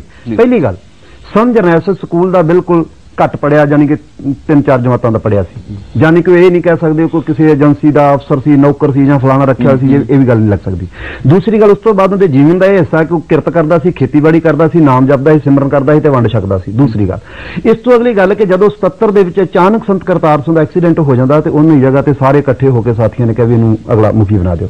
ਉਸ ਤੋਂ ਬਾਅਦ ਉਹ ਧਰਮ ਪ੍ਰਚਾਰ ਕਰ ਰਿਹਾ ਵਿਅਕਤੀ ਸੀ ਔਰ ਉਹਨੇ ਧਰਮ ਪ੍ਰਚਾਰ ਕਰਕੇ ਦਾੜੇ ਕੇਸ ਰਖਾਏ ਨੌਜਵਾਨ ਹੋਰ ਜੋ ਸਿੱਖੀ ਦੇ ਕਰਮ ਧਰਮ ਸੀ ਉਹਨੇ ਸਾਰੇ ਕੀਤੇ। ਇਹਦੇ ਲੇਕਿਨ ਕਿਤੇ ਨਾ ਕਿਤੇ ਵਰਤੇ ਵੀ ਗਏ। ਇਹ ਇੱਕ ਮਿੰਟ ਇਹਦਾ ਵਿੱਚ ਜਵਾਬ ਦੇ ਰਿਹਾ। ਦੇਖੋ ਕਈ ਗੱਲਾਂ ਉਛਾਲੀਆਂ ਜਾਂਦੀਆਂ ਨੇ। ਜਦੋਂ ਉਹਨੂੰ ਸਚਾਈ ਨਾਲ ਗੌ ਨਾਲ ਥੱਲੇ ਤੱਕ ਦੇਖਾਂਗੇ ਤੇ ਉਹ ਗੱਲ ਗਲਤ ਨਿਕਲੇਗੀ। 78 ਦੇ ਵਿੱਚ ਸਾਕਾ ਹੋਇਆ। 78 ਦੇ ਸਾਕੇ ਵਿੱਚ ਅਕਾਲੀ ਸਰਕਾਰ ਸੀ ਪੰਜਾਬ ਵਿੱਚ ਜਿਹੜਾ ਵਿਅਕਤੀ ਆ ਕੇ ਅੰਮ੍ਰਿਤਸਰ 'ਚ ਸਸਤਾਰਿਆਂ ਦੀ ਗੱਲ ਕਰਦਾ ਸਰਕਾਰ ਨੇ ਕਿਉਂ ਨਹੀਂ ਰੋਕਿਆ? ਉਮਰਾ ਨੰਗਲ ਉੱਥੇ ਮੌਕੇ ਤੇ ਹਾਜ਼ਰ ਸੀ ਅੰਮ੍ਰਿਤਸਰ ਉਹਨੇ ਕੀ ਕੀਤਾ ਰੋਲ ਅਦਾ ਕੀਤਾ? ਨਿਰੰਕਾਰੀ ਦੇ ਵਿਰੁੱਧ ਪੰਜਾਬ ਸਰਕਾਰ ਤੇ ਇਥੋਂ ਦੀਆਂ ਅਦਾਲਤਾਂ ਦੇ ਉਹਨਾਂ ਨੂੰ ਕੋਈ ਵਿਸ਼ਵਾਸ ਨਹੀਂ ਸੀ ਉਹ ਇੱਥੋਂ ਚੱਕ ਕੇ ਕੇਸ ਕਰਨਾਲ ਲੈ ਗਏ। ਉੱਥੇ ਉਮਰਾ ਨੰਗਲ ਦੇ ਬਿਆਨ ਦੇ ਉੱਤੇ ਕਿ ਨਿਰੰਕਾਰੀ ਦਾ ਕੋਈ ਦੋਸ਼ ਨਹੀਂਗਾ ਸਾਰਾ ਦੋਸ਼ ਭਿੰਡਰਾਂ ਵਾਲੇ ਦਾ ਉਹ ਬਰੀ ਹੁੰਦਾ। ਉਸ ਉਮਰਾ ਨੰਗਲ ਦੇ ਵਿਰੋਧ ਚ ਉਹਨਾਂ ਨੇ ਭਾਈ ਅਮਰੀਕ ਸਿੰਘ ਨੂੰ ਖੜਾ ਕਰਨਾ ਉਹਨਾਂ ਦਾ ਵਾਜਬ ਸੀ ਕਿ ਨਹੀਂ? ਔਰ ਉਹ ਸ਼੍ਰੋਮਣੀ ਕਮੇਟੀ ਦਾ ਸੀਨੀਅਰ ਮੀਤ ਪ੍ਰਧਾਨ ਸੀ ਉਮਰਾ ਨੰਗਲ। ਇਹੋ ਜਿਹਾ ਅਕਾਲੀਆਂ ਨੇ ਮਾੜੇ ਵਿਅਕਤੀ ਨੂੰ ਜਾਂ ਨਿਰੰਕਾਰੀ ਨੂੰ ਬਰੀ ਕਰਾਵੇ ਆਪਣਾ ਬਿਆਨ ਦਰਜ ਕਰਾ ਕੇ ਅਦਾਲਤ ਵਿੱਚ, ਉਹਦੇ ਵਿਰੁੱਧ ਬੰਦਾ ਖੜਾ ਕਰਕੇ ਸਿੱਖਾਂ ਦੀ ਅਣਖ, ਗੈਰ ਤੇ ਸਵੈਮਾਨ ਦਾ ਵਿਸ਼ਵਾਸ ਜਿਹੜਾ ਜ਼ਰੂਰੀ ਸੀ ਇੱਕ ਮਿੰਟ ਇੱਕ ਮਿੰਟ ਗੱਲ ਕਰ ਲੈਂਦੇ ਹੋ ਦੂਸਰੀ ਗੱਲ ਬਿਲਕੁਲ, ਜੇ ਇਸ ਤੋਂ ਅਗਲੀ ਗੱਲ time ਘੱਟ। ਦੇਖੋ, ਦੂਸਰੀ ਗੱਲ ਨਹੀਂ ਦੇਖੋ ਸੰਤ ਭਿੰਡਰਾਂ ਵਾਲੇ ਨੇ ਕਿੱਥੇ ਜਾ ਕੇ ਨਹੀਂ ਕੀਤਾ ਉਹਨੂੰ ਇਹਨਾਂ ਨੇ ਕਿਹਾ ਵੀ ਨਿਰੰਕਾਰੀ ਕਾਂਡ ਵਿੱਚ ਤੇਰੀ ਪੁੱਛਗਿੱਛ ਕਰਨੀ ਉਹ ਸੀਬੀਆਈ ਦੇ ਸਾਹਮਣੇ ਹਾਜ਼ਰ ਹੋ ਗਿਆ ਦੱਸੋ ਕਿੱਥੇ ਕਰਨੀ ਹੈ ਔਰ ਕਿੰਨੇ ਦਿਨ ਔਰ ਮਹੀਨਿਆਂ ਬਾਅਦ ਹੀ ਉਹ ਉਹਦੀ ਪੁੱਛਗਿੱਛ ਚੱਲੀ ਨਿਰੰਕਾਰ ਹੈਗਾ, ਇਹ ਹੋ ਗਿਆ। ਔਰ ਨੌ ਦੇ ਵਿੱਚ ਉਹਨੇ ਦੇਖੋ ਜੀ ਉਹਨੇ ਤੁਹਾਨੂੰ ਗ੍ਰਿਫਤਾਰੀ ਦਿੱਤੀ ਹੈ ਅਦਾਲਤਾਂ 'ਚ ਗਿਆ ਮੈਨੂੰ ਉਹਨਾਂ ਦੇ ਕਿਰਦਾਰ ਬਾਰੇ ਮੈਂ ਕੋਈ ਸ਼ੱਕ ਨਹੀਂ ਕਹਿ ਰਿਹਾ। ਮੈਂ ਸਵਾਲ ਇਹ ਕਹਿ ਰਿਹਾ ਵੀ ਜਿਹੜੀ। ਪਰਸੈਪਸ਼ਨ ਹੈ ਉਹਨੂੰ ਕੌਣ ਬਦਲੇਗਾ ਕਿਵੇਂ? ਬਦਲੇਗਾ ਜਿਹੜਾ ਸਿੰਘ ਪਾਇਆ। ਤੁਸੀਂ ਉਹ ਲੋਕਾਂ ਨੂੰ ਕਿਵੇਂ ਦਿਖਾਓਗੇ ਜਿਨ੍ਹਾਂ ਨੂੰ ਤੁਸੀਂ 20 ਸਾਲ ਤੱਕ ਇਹ ਦੱਸਿਆ। ਇਹ ਮੈਂ ਦੱਸਣਾ 18 ਚਾਹਾਂਗਾ ਸਾਲ ਜੀ। ਤੱਕ ਜਾਂ 15 ਸਾਲ ਤੱਕ ਜਾਂ 10 ਸਾਲ ਤੱਕ। ਸਿੱਖ ਫਲਸਫੀ ਦਾ ਸਿੰਬਲ ਕਿਵੇਂ ਹੋ ਸਕਦੇ ਨੇ? ਉਹ। ਹਲੀਮੀ ਦਾ ਸਿੰਬਲ ਨਹੀਂ ਹਨ। ਉਹ ਹਲੀਮੀ ਦਾ ਸਿੰਬਲ ਨਹੀਂ ਬਣ ਸਕੇ। ਉਹਨਾਂ ਨੇ ਜੇ ਹਲੀਮੀ ਦਾ ਸਿੰਬਲ ਹੋਣ ਜੋ ਸਿੱਖ ਧਰਮ ਦੀ ਫਲਸਫੀ ਦਾ ਬੇਸਿਕ ਉਹ ਹੈ ਉਸ ਦਾ ਸਿੰਬਲ ਉਹ ਨਹੀਂ ਹੋਏ। ਇਸ ਕਰਕੇ ਅਸੀਂ ਇਹ ਕਹਿੰਦੇ ਆ ਕੰਟਰੋਵਰਸੀ ਹੋ ਗਈ। ਇਸ ਇਸ ਇਸ ਕੰਟਰੋਵਰਸੀ ਦਾ ਇਸ ਕੰਟਰੋਵਰਸੀ ਨੂੰ ਸਾਲਵ ਕੀਤਾ ਜਾਣ ਦੀ ਬਜਾਏ ਉਹਨਾਂ ਲਈ ਕਿ ਇੱਕ ਵੱਖਰੀ ਥਾਂ ਹੋਵੇ। ਉਹ ਵੱਖਰੀ ਉਸ ਤੇ ਡਿਸਕਸ਼ਨ ਚਲਾ ਲੈਣ ਆਪਣੀ। ਪਰ ਜਿਸ ਦਰਬਾਰ ਸਾਹਿਬ ਦੇ ਉੱਤੇ ਹਿੰਦੂ, ਸਿੱਖ, ਮੁਸਲਮਾਨ ਬਾਵਜੂਦ ਉਹਨਾਂ ਲੋਕਾਂ ਦੇ ਜਿਹੜਾ ਫਿਰਕਾ ਪ੍ਰਸਤ ਨੇ, ਬਾਵਜੂਦ ਉਸਦੇ ਉਸ ਨੂੰ ਸਮਝਦੇ ਨੇ ਵੀ ਇਹ ਇੱਕ ਪਵਿੱਤਰ ਥਾਂ ਹੈ। ਉਸ ਦੇ ਬਾਵਜੂਦ ਵੀ ਸਾਰੇ ਸਭ ਨੂੰ ਸਮਝਦੇ ਆ। ਪਰ ਉਸ ਨੂੰ ਜਾਣ ਜਾਣ ਕੇ ਉਸ ਨੂੰ ਸੰਕੀਰਣ ਕੀਤਾ ਜਾ ਰਿਹਾ ਹੈ। ਇੱਕ ਕੰਟਰੋਵਰਸੀਅਲ ਬੰਦੇ ਨੂੰ ਲਿਆ ਕੇ ਕਿਹਾ ਜਾ ਰਿਹਾ ਹੈ ਕਿ ਉਹ ਉਹਨਾਂ ਸ਼ਹੀਦਾਂ ਦੇ ਨਾਲ ਦੇ ਕਰ ਦਿਓ, ਜਿਹੜੇ ਵੱਡੇ ਸ਼ਹੀਦਾਂ ਦੇ ਉੱਥੇ ਫੋਟੋਆਂ ਲੱਗੀਆਂ ਨੇ, ਉਹਨਾਂ ਦੇ ਨਾਲ ਉਹਨਾਂ ਲਾ ਦਿਓ। ਮੈਂ ਨਹੀਂ ਸਮਝਦਾ ਇਸ ਦੀ ਜ਼ਰੂਰਤ ਸੀ। ਪਰ ਸਮੇਂ ਦੀ ਸਰਕਾਰ ਨੂੰ ਲੋੜ ਸੀ ਕਿ ਕਿ ਮੁੱਦਿਆਂ ਤੋਂ ਧਿਆਨ ਲਾਂਭੇ ਕੀਤਾ ਜਾਵੇ ਆਪਸ ਦੇ ਵਿੱਚ ਇਹਦਾ ਜਾਣ ਬਿਲਕੁਲ ਠੀਕ ਹੈ। ਸਰਕਾਰਾਂ ਬਲਵੰਜੀ ਹਮੇਸ਼ਾ ਮੁੱਦਿਆਂ ਤੋਂ ਲਾਂਭੇ ਹੁੰਦੀਆਂ ਹਮੇਸ਼ਾ ਕਰਦੀਆਂ। ਹੁਣ ਵੀ ਨੰਦੀਗ੍ਰਾਮ ਜੋ ਹੋ ਰਿਹਾ ਮੁੱਦੇ ਛੱਡ ਕੇ ਹੋ ਰਿਹਾ। ਦੇਖੋ, ਨਾ ਕਰੋ, ਜੋ ਕਰ-। ਜਿਹੜਾ ਤੁਸੀਂ ਕਹਿ ਰਹੇ ਹੋ ਉਹਦੀ ਗੱਲ ਨੰਦੀਗ੍ਰਾਮ ਗਏ ਹੋਏ ਕਦੇ ਕੋਈ ਉਹ ਜਿਹੜੀ ਕਹਿ ਰਹੇ ਹੋ ਸਰਕਾਰ ਦੀ ਗੱਲ ਕਰਦੇ ਮੈਂ ਨਹੀਂ, ਉਹਨੂੰ ਕਰਾਂਗੇ। ਸੁਣੋ ਮੇਰੀ ਗੱਲ। ਮੈਂ ਉਸ ਉਹ- ਸਰਕਾਰ ਦੀ ਗੱਲ ਕਰ ਰਹੇ ਸੀ ਨਾ 84 ਦੇ ਵਿੱਚ ਉੱਥੇ ਇੱਕ ਸਿੱਖ ਕਤਲ ਹੋਣ ਦਿੱਤਾ।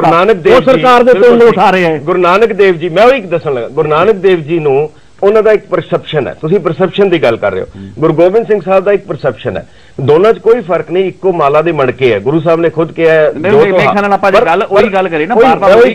ਬਿਲਕੁਲ, ਉਹਦੀ ਗੱਲ ਹੈ, ਸਰਦਾਰ ਮੈਂ ਉਹਦਾ ਜਵਾਬ ਦੇ ਰਿਹਾ। ਉਹਦਾ ਜਵਾਬ ਦੇ ਰਿਹਾ। ਸਰ ਉਹੀ ਜਵਾਬ ਦੇ ਰਿਹਾ ਕਿ ਮੇਰੀ ਲੋਂਗੋਵਾਲ ਵਾਲੀ ਗੱਲ ਦਾ ਜਵਾਬ ਦੇ। ਗੁਰੂ ਗੋਬਿੰਦ ਸਿੰਘ ਸਾਹਿਬ ਨੂੰ ਵੀ ਗਾਂਧੀ ਜੀ ਨੇ ਵੀ ਕਹਿਤਾ ਗੁੰਮਰਾਹ ਦੇਸ਼ ਭਗਤ ਹੈ। ਪਰਸੈਪਸ਼ਨ ਤੇ ਬਦਲੀ ਹੋਣੀ ਕਿੱਦਾਂ ਬਦਲੀ ਕਰੋਗੇ? ਗੁਰੂ ਗੋਬਿੰਦ ਸਿੰਘ ਸਾਹਿਬ ਦਾ ਰੂਪ ਵੱਖਰਾ ਹੈ ਸਭ ਕੁਝ ਵੱਖਰਾ ਹੈ। ਹਰਮੰਦਰ ਸਾਹਿਬ ਦੇ ਵਿੱਚ ਸੰਤ ਜਰਨੈਲ ਸਿੰਘ ਜੀ ਖਾਲਸਾ ਪਿੰਡਰਾਂ ਵਾਲਿਆਂ ਦਾ ਉਹੀ ਰੋਲ ਹੈ ਜਿਹੜਾ ਜਿਹੜਾ ਤਾਂ ਦੂਸਰਾ ਪਰ irrelevant। ਕੇਸ 'ਚ ਨਾ ਤੇ ਚੰਗੀ ਗੱਲ ਹੈ। ਜਿਹੜਾ ਜਿਹੜਾ ਰੂਪ ਚੱਲ ਰਹੀ ਹੈ ਜਿਹੜਾ ਨੰਦੀਗ੍ਰਾਮ ਸਿੰਘ ਜਿਹੜਾ ਜਿਹੜੇ- ਬਲਵੰਤ ਜੀ ਮੈਨੂੰ ਹੁਣ ਬੋਲ ਲੈਣ ਦਿਓ। ਜਿਹੜੀ ਗੱਲ ਸੰਤ ਜਰਨੈਲ ਸਿੰਘ ਦਾ ਰੋਲ ਉਹੀ ਹੈ ਜਿਹੜਾ ਸਿੱਖ ਧਰਮ ਦੇ ਵਿੱਚ ਜਿਹੜਾ ਬਾਬਾ ਦੀਪ ਸਿੰਘ ਦਾ ਸੀ ਜਿਹੜੇ ਪਹਿਲੇ ਫਾਊਂਡਰ ਹੈ ਦਮਦਮੀ ਟਕਸਾਲ ਦੇ ਜਿਹੜਾ ਰੂਪ। ਜਿਹੜਾ ਰੂਪ ਜਿਹੜਾ ਰੂਪ ਉਹਨਾਂ ਦਾ ਜਿਹੜਾ ਰੂਪ ਉਹਨਾਂ ਦਾ ਬੰਦਾ ਬਹਾਦਰ ਦਾ ਹੈ ਜਿਹੜਾ ਰੂਪ ਉਹਨਾਂ ਦਾ ਮੈਂ ਸਮਝਦਾ ਬੰਦਾ ਬਹਾਦਰ ਨਾਲ ਵੀ ਬੇਇਨਸਾਫੀ ਹੈ। ਸੰਤ ਗੁਰਬਖਸ਼ ਸਿੰਘ ਦਾ ਜਿਹੜਾ ਬਾਬਾ ਗੁਰਬਖਸ਼ ਸਿੰਘ ਦਾ ਜਿਹੜੇ ਦਮਦਮੀ ਟਕਸਾਲ ਦੇ ਮੁਖੀ ਸੀ ਜਿਸ ਨੇ ਹਰਮੰਦਰ ਸਾਹਿਬ ਦੇ ਉੱਤੇ ਹਮਲਾ ਕੀਤਾ। ਬਾਕੀ ਰਹਿ ਗਈ ਗੱਲ ਲੋਂਗੋਵਾਲ ਦੀ ਫੋਟੋ ਤੇ ਸੰਤ ਜਰਨੈਲ ਸਿੰਘ ਦੀ ਕਿੱਦਾਂ ਲੱਗ ਸਕਦੀ ਹੈ ਬਿਲਕੁਲ ਇਹਦਾ ਜਵਾਬ ਇਹ ਹੈਗਾ ਕਿ ਰੋਜ਼ ਅਰਦਾਸ ਕਰਦੇ ਜਿਨ੍ਹਾਂ ਧਰਮ ਦੀ ਖਾਤਰ ਸ਼ਹਾਦਤਾਂ ਦਿੱਤੀਆਂ ਧਰਮ ਦੀ ਖਾਤਰ ਸ਼ਹੀਦ ਹੋਏ ਉਹਨਾਂ ਦੀਆਂ ਤਸਵੀਰਾਂ ਲੱਗਣਗੀਆਂ ਲੱਗਦੀਆਂ ਰਹਿਣਗੀਆਂ। ਉਹਦੇ ਵਿੱਚ ਲੋਂਗੋਵਾਲ ਨੇ ਧਰਮ ਯੁੱਧ ਮੋਰਚੇ ਨੂੰ ਚਲਾਇਆ। ਸੰਤ ਜਰਨੈਲ ਸਿੰਘ ਉਹਦੇ ਅੰਡਰ ਰਹੇ ਉਹਨਾਂ ਨੇ ਲੋਂਗੋਵਾਲ ਦੀ ਅਗਵਾਈ ਦੇ ਵਿੱਚ ਸਹੁੰ ਚੁੱਕੀ ਕਿ ਇਹ ਜਿਹੜਾ ਆਨੰਦਪੁਰ ਦਾ ਮਤਾ ਹੈ ਜਿਹਦੀ ਖਾਤਰ ਅਸੀਂ ਜਾਨ ਕੁਰਬਾਨ ਕਰ ਦਾਂਗੇ। ਫਲਸਫੀ ਦੀ ਗੱਲ ਕਰੋ, ਵਿਚਾਰਧਾਰਾ ਦੀ ਗੱਲ ਕਰੋ ਕਿ- ਵਿਚਾਰਧਾਰਾ ਕੀ ਬਾਬਾ ਦੀਪ ਸਿੰਘ ਦੀ ਵਿਚਾਰਧਾਰਾ ਇਹਨਾਂ ਨੂੰ ਗੱਲ- ਇੱਕ ਮਿੰਟ, ਇੱਕ ਮਿੰਟ। ਬਾਬਾ ਦੀਪ ਸਿੰਘ ਦੀ ਵਿਚਾਰਧਾਰਾ ਔਰ ਪਿੰਡਾਂ ਵਾਲਾ ਦੀ ਵਿਚਾਰਧਾਰਾ ਜ਼ਮੀਨ ਅਸਮਾਨ ਦਾ ਫ਼ਰਕ ਕੋਈ ਨੈਗੇਟਿਵ। ਇੱਕ ਪੋਜ਼ਿਟਿਵ ਮੈਨੂੰ। ਕਹਿ ਮੈਨੂੰ ਕਹਿ ਦਿੰਦਾ ਹੁਣ ਮੇਰੀ ਵਾਰੀ ਹੈ ਨਾ ਹਾਂਜੀ ਤੁਸੀਂ ਬੋਲੋ ਉਹਨਾਂ ਦੀ ਉਹਨਾਂ ਦੀ ਪੋਜ਼ਿਟਿਵ ਬਾਬਾ ਦੀਪ ਸਿੰਘ ਦੀ ਇਹਨਾਂ ਦੀ 100% ਨੈਗੇਟਿਵ ਔਰ ਫਿਰ ਉਹਨਾਂ ਤੋਂ ਬਾਅਦ ਇਹਨਾਂ ਨੇ ਨਾਂ ਲੈ ਦਿੱਤਾ ਉੱਥੇ ਬਾਬਾ ਦੀਪ ਸਿੰਘ ਤੋਂ ਬਾਅਦ ਬਾਬਾ ਗੁਰਬਖਸ਼ ਸਿੰਘ ਨਿਹੰਗ ਜਿਹੜੇ ਹਰਮੰਦਰ ਮੈਂ ਉਹੀ ਕਹਿੰਦਾ। ਨਾ ਬੰਦਾ ਬੰਦਾ ਬਹਾਦਰ ਜੀ ਦੀ ਜਿਨ੍ਹਾਂ ਨੇ ਲੈਂਡ ਟੂ ਦਾ ਟਿਲਰ ਦਿੱਤੀ ਬੇਜ਼ਮੀਨਿਆਂ ਨੂੰ। ਜ਼ਮੀਨ ਦਿੱਤੀ। ਜਿਨ੍ਹਾਂ ਨੇ ਲੜੇ ਜਿਹੜੇ ਉਹ- ਉਹਨਾਂ ਦੇ ਨਾਲ ਬੇਇਨਸਾਫੀ ਦੇ ਖਿਲਾਫ ਉਹਨਾਂ ਦੇ ਨਾਲ ਰਲਾਉਣਾ ਇਸ ਤੋਂ ਜ਼ਿਆਦਾ ਮੈਂ ਸਮਝਦਾ ਅਨਿਆਏ ਹੋ ਨਹੀਂ ਸਕਦਾ ਬੰਦਾ ਬਹਾਦਰ ਨਾਲ ਔਰ ਬਾਬਾ ਦੀਪ ਸਿੰਘ ਨਾਲ। ਜਿੰਨਾ ਇਹਨਾਂ ਨੇ ਕਰਤਾ ਉਹਨਾਂ ਦੀ ਫਿਲਾਸਫੀ ਤਾਂ ਆਲਟੂਗੇਦਰ ਇੱਕ ਐਸੀ ਹੈ ਇੱਕ ਨਰਕ ਦੀ ਫਿਲਾਸਫੀ ਹੈ ਇੱਕ ਜ਼ਿੰਦਗੀ ਦੀ ਫਿਲਾਸਫੀ ਹੈ। ਦੇਖੋ ਜੀ ਇਹ ਕਹਿ ਰਹੇ ਨੇ ਕਿ ਬੰਦਾ ਸਿੰਘ ਬਹਾਦਰ ਨੇ ਲੋਕਾਂ ਨੂੰ ਜ਼ਮੀਨਾਂ ਦੇ ਹੱਕ ਦਿੱਤੇ। ਸੰਤ ਭਿੰਡਰਾਂ ਨੇ ਕਿਹਾ ਕਿ ਪੰਜਾਬ ਦਾ ਪਾਣੀ ਪੰਜਾਬ ਦੇ ਲੋਕਾਂ ਕੋਲ ਇੱਥੇ ਖੇਤੀ ਜਿਹੜੀ ਹੈ ਉਜੜ ਰਹੀ ਹੈ ਸਾਰਾ ਕੁਝ ਹਾਰਿਆ ਇਹ ਫਿਰ ਰਹਿਣਾ ਚਾਹੀਦਾ। ਪੰਜਾਬ ਕੋਲ ਕੋਈ ਰਾਜਧਾਨੀ ਪੰਜਾਬ ਕੋਲ ਕੋਈ ਹਾਈ ਕੋਰਟ ਨਹੀਂ। ਦੇਖੋ ਗੱਲ ਕਰਨ ਦਿਓ ਨਾ ਫਿਰ ਕਿਸੇ ਗੱਲ ਇਹ- ਇਸ਼ੂ ਦੇ ਉੱਤੇ ਬੰਦਾ ਸਿੰਘ ਬਹਾਦਰ ਨੇ ਲੜਾਈ ਲੜੀ ਹੈ। ਉਹਨੇ ਜੇ ਸੱਤਾ ਦੀ ਲੜਾਈ ਲੜੀ ਰਾਜ ਭਾਗ ਦੀ ਕੀਤੀ ਉਹਨੇ ਜ਼ਮੀਨਾਂ ਦੀ ਗੱਲ ਕੀਤੀ ਪਾਣੀ ਦੇ ਮਸਲੇ ਤੇ ਉਹਨਾਂ ਦੀ ਫੋਟੋ ਹੈਗੀ ਉੱਥੇ ਉਹਨਾਂ ਦਾ ਚਿੱਤਰ ਹੈ ਨਹੀਂ ਨਹੀਂ ਨਹੀਂ। ਨਾ ਤੁਸੀਂ ਤੁਸੀਂ ਤਾਂ ਕਰਦੇ ਹੋ ਬੰਦਾ ਨਹੀਂ ਨਹੀਂ। ਮੈਂ ਕਹਿ ਓਹੋ ਉਹਨੂੰ ਤਾਂ ਬ- ਬੰਦਾ ਗੰਦਾ ਹੋ ਗਿਆ ਤੁਸੀਂ ਕਰਾਰ ਦਿੱਤਾ ਹੈ ਉਹਨਾਂ ਕੋਈ ਨਾ ਉਹ- ਕਹਿੰਦਾ ਮੈਂ ਕਿਹਾ ਅੱਜ ਤੱਕ ਦਿਨ ਨਹੀਂ ਮਨਾਉਂਦੇ। ਬੰਦਾ ਸਿੰਘ ਬਹਾਦਰ ਸਾਡਾ ਪੂਜਨਯੋਗ ਹੈ ਨਾ ਤੁਸੀਂ ਕਿੱਦਾਂ ਕਰਦੇ ਹੋ ਹੈਗਾ ਪਰ ਦਰਬਾਰ ਸਾਹਿਬ ਦੇ ਵਿੱਚ ਮੈਂ ਕਹਿ ਕਹੋ, ਦਰਬਾਰ ਸਾਹਿਬ ਦੇ ਵਿੱਚ ਹੈ। ਮੈਂ I challenge it I challenge it. Baba Banda ਮੈਂ ਸਿੰਘ ਕਿਹਾ ਆਈ ਚੈਲੰਜ ਇਟ ਕਿ ਐਸਜੀਪੀਸੀ ਨੇ ਬਾਬਾ ਬੰਦਾ ਸਿੰਘ ਬਹਾਦਰ ਦਾ ਅੱਜ ਤੁਹਾਨੂੰ ਦਿਖਾਉਣੇ ਫੋਟੋ ਜਾ ਕੇ। ਬਲਵੰਤ ਜੀ ਤੁਹਾਨੂੰ ਕੀ ਗੱਲਾਂ ਕਰਦੇ ਚਾਹੀਦਾ ਦਰਬਾਰ ਸਾਹਿਬ 'ਚ ਕਿਸੇ ਦੀ ਵੀ ਨਹੀਂ ਹੈਗੀ। ਅਜਾਇਬ ਕਰਕੇ ਫੋਟੋ। ਨਹੀਂ ਨਹੀਂ ਬੜਾ ਇੰਪੋਰਟੈਂਟ ਪੁਆਇੰਟ ਹੈ ਕਿ ਦਰਬਾਰ ਸਾਹਿਬ ਦੇ ਬੰਦਾ ਬਹਾਦਰ ਦੀ ਕਿਉਂ ਨਹੀਂ ਯਾਦ ਮਨਾਈ ਜਾਂਦੀ? ਦਰਬਾਰ ਸਾਹਿਬ ਦੇ ਸਵਾਏ ਕੀਰਤਨ ਦੇ ਵਾਹਿਗੁਰੂ ਜੀ ਦਾ ਅਰਦਾਸ ਦੇ ਮੈਂ ਨਹੀਂ ਕਿਹਾ ਯਾਦ ਮਨਾਈ ਜਾਂਦੀ। ਮੈਂ ਨਹੀਂ ਕਿਹਾ। ਮੈਂ ਚਿੱਤਰ ਦੀ ਗੱਲ ਕਰੀ ਹੈ। ਮੇਰੀ- ਬਿਲਕੁਲ ਲੱਗਾ ਹੋਇਆ ਹੈ। ਮੇਰੀ ਗੱਲ ਧਿਆਨ ਨਾਲ ਸੁਣੋ। ਬੰਦਾ ਬਹਾਦਰ ਦਾ ਕੋਈ ਦਿਹਾੜਾ ਦਰਬਾਰ ਸਾਹਿਬ ਦੇ ਵਿੱਚ ਕਦੇ ਮਨਾਇਆ ਗਿਆ ਹੋਵੇ। ਆਈ ਚੈਲੰਜ ਇਟ ਔਰ ਉਹਨਾਂ ਨੂੰ ਉੱਥੋਂ ਦਰਬਾਰ ਸਾਹਿਬ ਤੋਂ ਇਹ ਕਹਿ ਕੇ ਕਿ ਬੰਦਾ ਗੰਦਾ ਹੋ ਗਿਆ। ਕਿਹਨੇ ਕਿਹਾ? ਇਹ ਤੁਹਾਡੀ ਸੋਚ ਹੋ ਸਕਦੀ ਹੈ। ਨਹੀਂ ਦੇਖੋ ਤੁਹਾਡੀ- ਇਹ ਟਾਈਮ ਬਰਬਾਦ ਕਰਨ ਵਾਲੀ ਕਹਾਣੀ ਹੈ। ਇਹ ਟਾਈਮ ਬਰਬਾਦ ਹੋ ਰਿਹਾ। ਹੈ ਡਰਾਲੇ ਦੇ ਉੱਤੇ ਗੱਲ ਹੋ ਰਹੀ ਹੈ। ਔਰ ਤੁਸੀਂ ਮਾਈ ਖਾਲ ਕੇ ਜਾ ਰਹੇ ਖਾਲਸਾ। ਦੋ ਬਣੇ ਹੋ। ਲੇਕਿਨ ਇਹਨੇ ਮੈਂ ਖਤਮ ਨਹੀਂ ਕਰੋ। ਇਹਨਾਂ ਨੇ ਬੰਦਾ ਹੀ ਖਾਲਸਾ। ਦੇ ਜਵਾਬ ਦੇ ਲਾਂਬਾ ਸਾਹਿਬ ਮੇਰੀ ਗੱਲ ਦਾ ਜਵਾਬ ਦਿਓ। ਤੁਸੀਂ ਕਹਿ ਰਹੇ। ਮੇਰੀ ਗੱਲ ਮੈਂ ਮੈਂ ਮੇਰੀ ਗੱਲ। ਬੰਦਾ ਸਿੰਘ ਬਹਾਦਰ ਸਿੰਘ ਸੁਣੇ ਬੰਦਾ ਬਹਾਦਰ ਤੁਸੀਂ ਕਹਿ ਰਹੇ ਹੋ ਆਪਾਂ ਸਰ- ਬੰਦਾ ਬਹਾਦਰ ਅਖੀਰੀ ਦਸ ਬੰਦਾ ਹੀ ਸੈਕਿੰਡ ਖਾਲਸਾ ਮੈਨੂੰ ਔਰ ਮੈਨੂੰ ਮੈਨੂੰ 5 ਸੈਕਿੰਡ ਦੇ ਨਹੀਂ, ਦਿਓ। ਤੁਹਾਨੂੰ ਪੰਜ ਸੈਕਿੰਡ ਨਹੀਂ ਦੇਣੇ, ਸੱਚੀ ਗੱਲ ਤਾਂ ਮੰਨੋ ਨਾ ਜੇ ਪ੍ਰੋਫੈਸਰ ਸਾਹਿਬ ਅਰੇ ਖਾਲਸਾ ਤੁਸੀਂ ਸੱਚੀ ਗੱਲ ਤਾਂ ਮੰਨੋ ਨਾ ਦੇਖੋ, ਮਸਲੇ ਹੋ ਸਕਦੇ ਆ। ਨਹੀਂ, ਸਾਰੀਆਂ ਮੌਜੂਦ ਹੈ ਬੰਦਾ ਬਹਾਦਰ ਇੱਕ ਨੂੰ। ਮਿੰਟ। ਨਹੀਂ ਖਾਲਸਾ ਔਰ ਬੰਦਾ ਹੀ ਖਾਲਸਾ ਦੋ ਬਣੇ ਸੀ। ਸਰ 10 ਸੈਕਿੰਡ ਮੈਂ ਤੁਹਾਨੂੰ ਦਿੰਦਾ ਤੁਸੀਂ ਆਪਣਾ ਫਾਈਨਲ ਦੇ ਦਿਓ ਲਓ ਮਿੰਟ, ਦੇਖੋ ਗੱਲ ਇਹ ਹੈ ਬੰਦਾ ਬਹਾਦਰ ਨਾਲ ਬਾਬਾ ਦੀਪ ਸਿੰਘ ਜੀ ਨਾਲ ਔਰ ਇਹੋ ਜਿਹੇ ਵੱਡੇ ਮਹਾਨ ਸ਼ਖਸੀਅਤਾਂ ਨਾਲ ਮੇਚ ਕਰਨਾ ਉਹਨਾਂ ਦਾ ਉਹਨਾਂ ਨਾਲ ਬੇਇਨਸਾਫੀ ਹੈ। ਪਿੰਡਾਂ ਪਿੰਡਾਂ ਵਾਲਾ ਸਾਹਿਬ ਨੂੰ ਚੁੱਕਣਾ ਤਾਂ ਗੱਲ ਮੋਗਮ ਸਿੰਘ ਜੀ। ਦੇਖੋ ਬੰਦਾ ਸਿੰਘ ਬਹਾਦਰ ਔਰ ਇਸੇ ਤਰ੍ਹਾਂ ਨਵਾਬ ਕਪੂਰ ਸਿੰਘ ਆਲੂਵਾਲੀਆ ਸਾਡੇ ਸਰਦਾਰ ਸ਼ਾਨ ਸਿੰਘ ਬਰਾਬਰ ਉਹਨਾਂ। ਦਾ ਬਰਾਬਰ ਨੇ ਬਲਕਿ ਉਹਨਾਂ ਦੇ ਕਦਮਾਂ ਤੇ ਅਜੋਕੇ ਯੁੱਗ 'ਚ ਚੱਲ ਕੇ ਉਹਨਾਂ ਵਿਖਾਇਆ। ਠੀਕ ਹੈ। ਕੰਟੈਂਪਰੇਰੀ ਕੰਟੈਂਪਰੇਰੀ ਹਾਲਾਤ ਦੇ ਮੈਂ ਹਿਸਾਬ ਮੈਂ ਕਹਿ ਸਕਦਾ ਜਿਸ ਨੇ ਹਰਮੰਦਰ ਸਾਹਿਬ ਦੀ ਰਾਖੀ ਲਈ ਸ਼ਹਾਦਤ ਦਿੱਤੀ ਹੈ ਗੁਰੂ ਗੋਬਿੰਦ ਸਿੰਘ ਸਾਹਿਬ ਦੇ ਲਫ਼ਜ਼ਨ ਇਨੀ ਕੀ ਕਿਰਪਾ ਕਿ ਸਜੇ ਹਮੇ ਨਹੀਂ ਮੌਸੋ ਗਰੀਬ ਕਰੋੜ ਪਰੇ। ਗੁਰੂ ਗੋਬਿੰਦ ਸਿੰਘ ਤੁਹਾਡੇ 10 ਸੈਕਿੰਡ ਹੋ ਗਏ ਮੈਨੂੰ 10 ਸੈਕਿੰਡ ਦੇ ਦਿਓ। ਗੁਰੂ ਗੋਬਿੰਦ ਸਿੰਘ ਤੁਹਾਡੇ 10 ਸਾਹਿਬ ਸੈਕਿੰਡ ਹੋ ਗਏ। ਇੱਕ ਮਿੰਟ, ਇੱਕ ਮੈਂ ਮਿੰਟ, ਕਹਿ ਰਿਹਾ ਬਹਾਦਰ ਜੀ ਮੇਰੇ 10 ਬਹਾਦਰ ਸੈਕਿੰਡ ਮੇਰੇ ਨਹੀਂ ਦਰਬਾਰ ਸਾਹਿਬ ਦੀ ਸਕਦੇ। ਗੱਲ ਨਹੀਂ, ਗੱਲ ਹੈ, ਗੁਰੂ ਗੋਬਿੰਦ ਸਿੰਘ ਜੀ 10 ਦਰਬਾਰ ਸਾਹਿਬ 'ਚ ਨਹੀਂ ਗਏ। ਮੈਂ 10 ਸੈਕਿੰਡ ਮੈਂ 10 ਸੈਕਿੰਡ ਦੇ ਦਿਓ। ਉਹਨਾਂ ਨੇ ਹਾਲੋਕਾਸਟ ਮਿਊਜ਼ੀਅਮ ਸਾਰੇ ਯੂਰਪ ਵਿੱਚ ਬਣੇ ਆ ਅਮਰੀਕਾ 'ਚ ਬਣੇ ਆ। ਕਦੀ ਇਹ ਜਰਮਨੀ ਸਰਕਾਰ ਨੂੰ ਨਹੀਂ ਅਧਿਕਾਰ ਹੈ ਇਹਨਾਂ ਨਾਜ਼ੀਆਂ ਨੇ ਉਹਨਾਂ ਨੂੰ ਰਾਏ ਦੇਣ। ਤੁਹਾਡੀ ਰਾਏ ਨਹੀਂ ਚਾਹੀਦੀ ਕਿਹੜੇ ਸਿੱਖ ਉੱਤੇ ਕਿਹਦੀ ਲਾਣ ਕਿ ਕਿਹਦੀ ਨਾ ਲਾਣ। ਇਹ ਸਿੱਖਾਂ ਦਾ ਮਾਮਲਾ ਹੈ ਸਿੱਖ ਡਿਸਾਈਡ ਕਰਨਗੇ।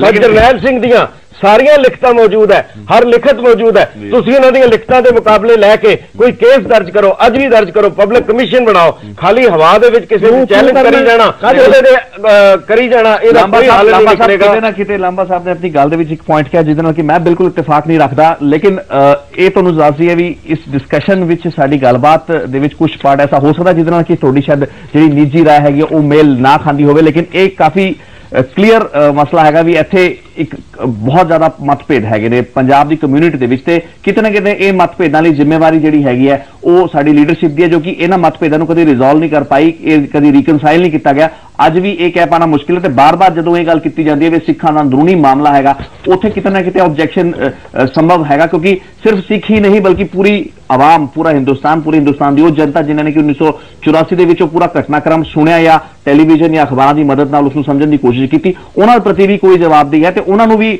ਇਹ ਸਮਝਾਉਣਾ ਓਨਾ ਹੀ ਜ਼ਰੂਰੀ ਹੈ ਵੀ ਸੰਤ ਜਰਨੈਲ ਸਿੰਘ ਪਿੰਡਾਲੇ ਦੀ ਅਸਲੀ ਭੂਮਿਕਾ ਉਸ ਦੌਰਾਨ ਕੀ ਰਹੀ ਤੇ ਕਿਹਦੀਆਂ ਗਲਤੀਆਂ ਰਹੀਆਂ। ਇਹ ਸਾਰੀਆਂ ਚੀਜ਼ਾਂ ਸਭ ਚੀਜ਼ ਨੂੰ ਸਭ ਨੂੰ ਐਕਸਪਲੇਨ ਕਰਨੀਆਂ ਪੈਣਗੀਆਂ। ਸਿਰਫ ਅੰਦਰੂਨੀ ਮਾਮਲਾ ਕਹਿ ਕੇ ਇਸ ਮਾਮਲੇ ਤੋਂ ਕਿਤੇ ਵੀ ਅਸੀਂ ਜਸਟਿਸ ਨਹੀਂ ਕਰ ਪਾਵਾਂਗੇ। ਘੱਟੋ ਘੱਟ ਸੰਤ ਜਰਨੈਲ ਸਿੰਘ ਪਿੰਡਰਾਲੇ ਦੀ ਸ਼ਖਸੀਅਤ, ਜਿਨ੍ਹਾਂ ਦੇ ਨਾਲ ਜਸਟਿਸ ਕਰਨ ਦੀ ਗੱਲ ਕੀਤੀ ਜਾ ਰਹੀ ਹੈ ਜੀਪੀਸੀ ਵੱਲੋਂ ਜਾਂ ਹੋਰ ਕਈ ਕਾਰਨਰਸ ਵੱਲੋਂ, ਦੰਦਮੀ ਟਕਸਾਲ ਵੱਲੋਂ, ਉਹਨਾਂ ਨਾਲ ਤਾਂ ਜਸਟਿਸ ਘੱਟੋ ਘੱਟ ਨਹੀਂ ਹੋ ਸਕਦਾ। ਇਹ ਡਿਸਕਸ਼ਨ ਤੁਹਾਨੂੰ ਕਿਹੋ ਜੀ ਲੱਗੀ? ਇਸ ਪਤੇ ਆਪਣੇ ਵਿਚਾਰ ਸਾਨੂੰ ਜ਼ਰੂਰ ਲਿਖੋ। ਸਾਡਾ ਪਤਾ ਹੈ ਖਬਰਸਾਰ। ਜੀ Punjabi post bag number 4599 Hauz Khas ਨਵੀਂ ਦਿੱਲੀ 110016 ਸਾਡਾ ਵੈਬਸਾਈਟ ਐਡਰੈਸ ਹੈ www.zpunjabi.com ਲੈਣੇ ਇਜਾਜ਼ਤ ਇੱਕ ਹੋਰ ਚਰਚਾ ਲੈ ਕੇ ਫੇਰ ਹਾਜ਼ਰ ਹੋਵਾਂਗੇ ਧੰਨਵਾਦ